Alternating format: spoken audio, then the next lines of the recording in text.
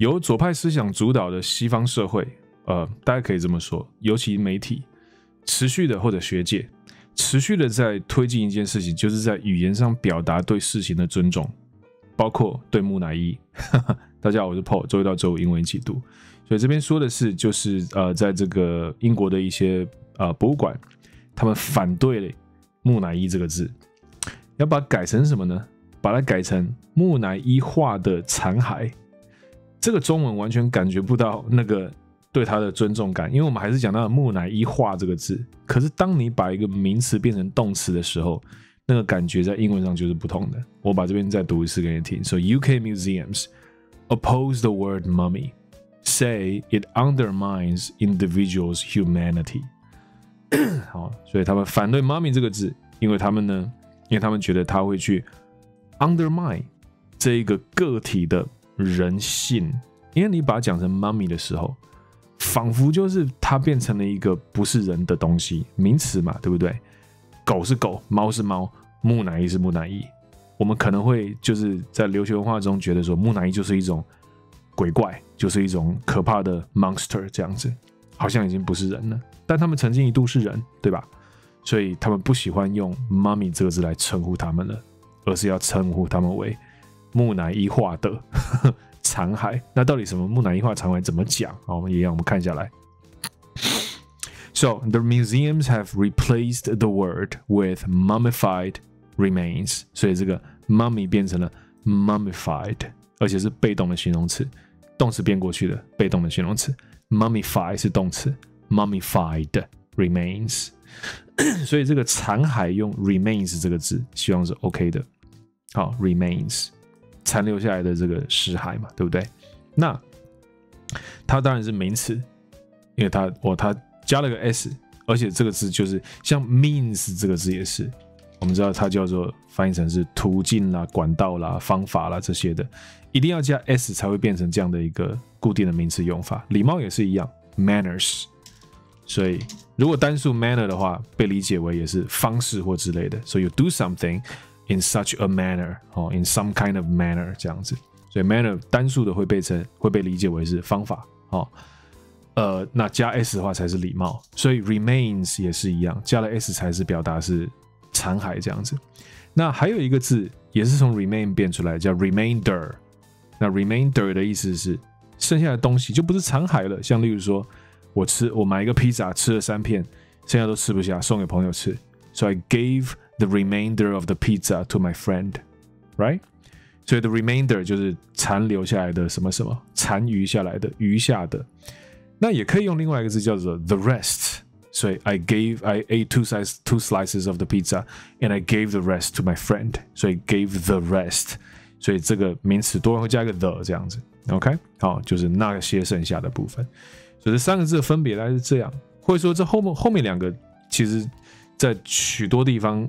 应该是完全相通，没什么问题的。好，好，所以这算是有讲到一个，讲到一个我觉得蛮重要的东西。来，那再看下来，所以这边说，the museums have claimed they don't want to offend the dead people and undermine their humanity。哈，所以不想要冒犯这些已经过世的人，以及也不想要去来 undermine 他们的 humanity。所以他们本来是人，他们本来是有人性的人，所以。所以 humanity 这个字其实很难翻译啊，你可以就把它理解为是人性，it's part of humanity 这样子。那我身为一个人，我就有 humanity。那他们也曾经是人，他们也有 humanity。就身为人的一些 qualities，大概就可以被理解为 humanity 这个名词。那什么是 undermine？undermine 这个字，我觉得也是非常很难翻译成中文精准的。可是你大概可以理解它的意思。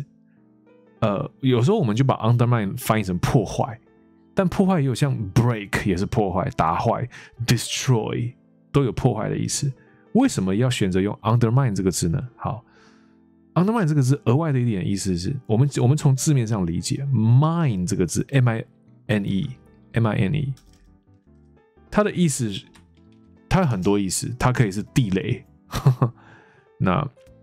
呃，像那个扫地雷，如果你有玩过以前 Microsoft 这个游戏的话，Mine Sweeper 啊，Mine，所以地雷。还有在就人称代名词里面的所有个代名词，好，所以 the book is mine，这本书是我的这样子，mine。那还有一个意思就是矿脉啊，金矿、银矿那个矿，所以 a gold mine 金矿，a silver mine 银矿。那你去挖那个矿的动词也是 mine。I'm trying to mine gold. I'm trying to mine silver. Mine something, right? 所以为什么那个什么当个创世神是不是这个游戏名字啊？Minecraft, right? 那那个 Minecraft 里面又有挖矿啊，所以叫做 Minecraft 啊，对不对？那而且这个字也有点点双关语，甚至可能好多关语，好多关语。那关刀的关羽不好笑呢哦。好，我要说的是 Minecraft，你可以把它理解为那是我创造出来的世界嘛，所以你把它理解为所有个代名词也还是一个不错的理解啊。So，那你去你去创造它，你去 craft 它，那 craft 有理解为有时候翻译成手艺啊、手工艺啊之类的东西的作品啊，这样 craft。所以 Minecraft 这个游戏名字取的还真不错。好，回来这里，所以 mine，那我们就要取它什么意思呢？挖矿的这个意思。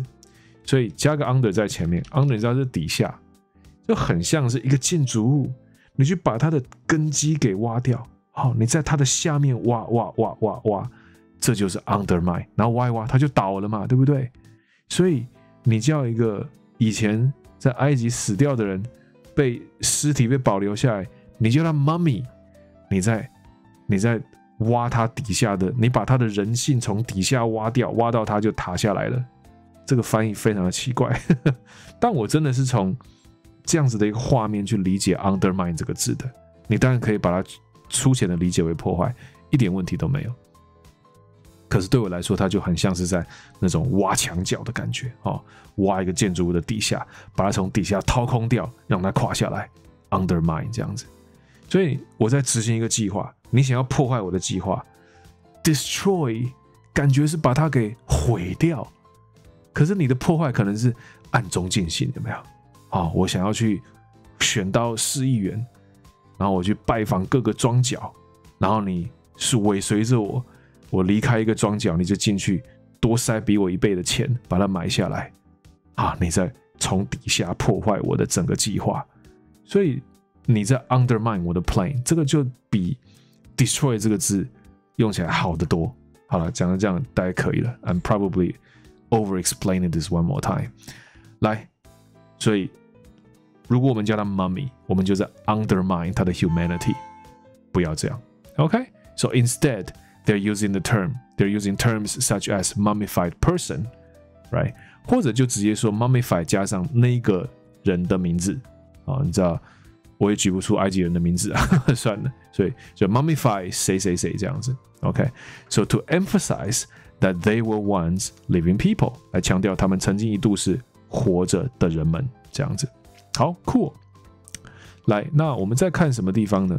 啊，这也是一样，我们再说一下它，呃的一个特殊的句型，所以我们来抓一下它直接讲出来的话哈。我刚刚有把它呀，在这里。OK，so by displaying the mummies more sensitivities, more sensitively，对不起哈。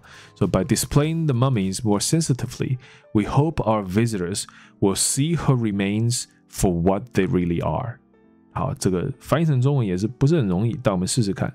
所以你借由呈现这些 mummy，那呈现的方式是用一些更 sensitively 的，用更敏感的方式来呈现它。Again，就是不要叫它 mummy，叫它 mummified。 例如说 Cleopatra 这样子，OK，她是谁啊？埃及艳后，OK，So this is mummified Cleopatra。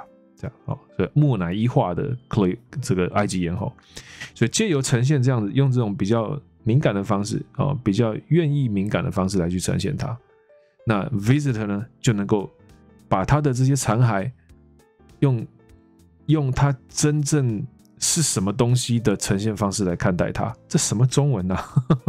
好了，这样解释好了哦，我我我把它有这个句型上打出来。So you see something. For what that something really is，好，所以你就它是什么，你就用什么方式来看待它。这是一个手机，你就用一个手机的方式去看待这个手机就对了。你不要把它看待成是你的家人，这样就超过了，对不对？你也不要把它看待成一个很单纯的、随时可以丢掉的工具，因为它对你的人生还是蛮重要的。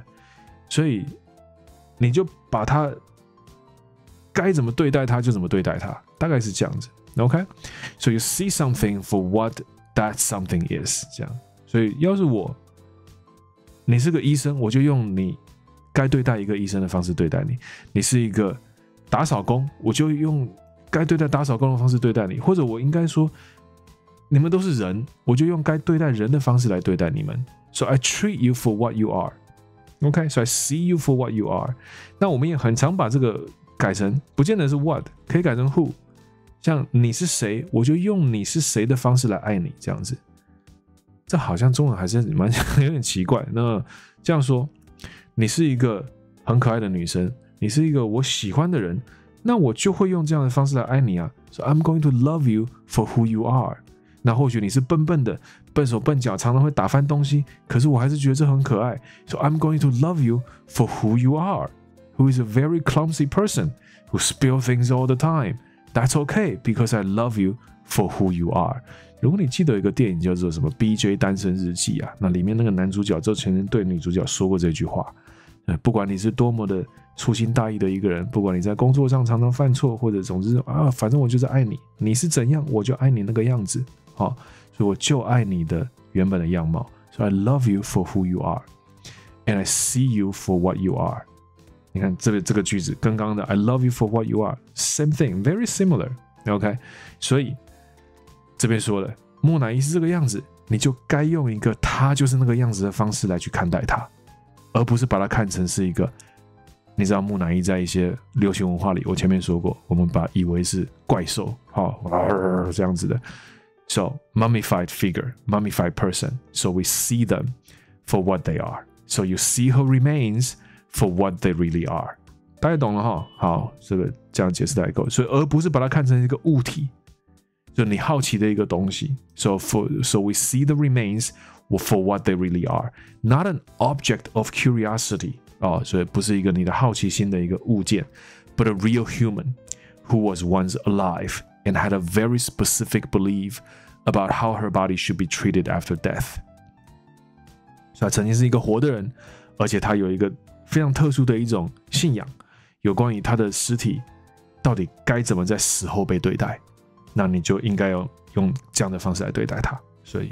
the the, uh, the person had a very specific belief about how her body should be treated after death as a mummified figure person whatever 好，大家这样可以。All right，所以 again，这是一个西方社会在语言上希望能够对于东西表达出的一种越来就是该有的尊重，他们认为这是该有的尊重。那我觉得我们学英文的人就把它 adopt 起来。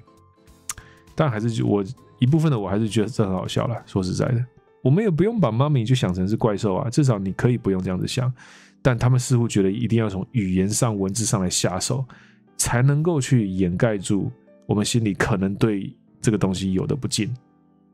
And I respect that too. Anyway，好了，我是 Paul，我们下次见。